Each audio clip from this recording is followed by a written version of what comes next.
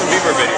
Oh, it was fun. It was really cool. It was nice because there were so many different crews there, so we kind of got to all hang out. It was just cool. There, there was so much love for dancers in the video. So.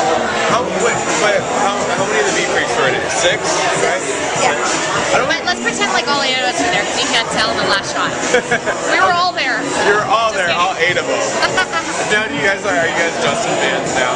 Like, do you have the song in your car? I, I it in my car. I crank it like Yeah. all day, and I run with it. And I started laughing the other day. I was running, and I was like so into it, and I started cracking up. I'm like, I'm jamming to Justin Bieber Yeah, right I now. mean, I love him. it's I cool, love him. like, He's amazing. It's cool. Yeah, I, I like the songs. I'm excited for him to go through puberty.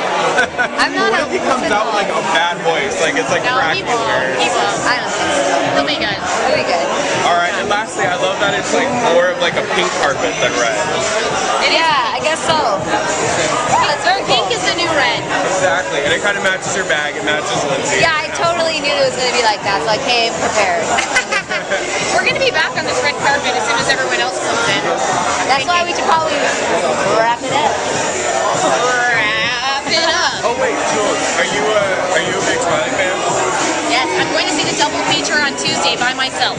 I'm going to go see number one and number two in a row at the Arclight. Did you see anyone we wants to join we me, at I'll the be red there by carpet? myself.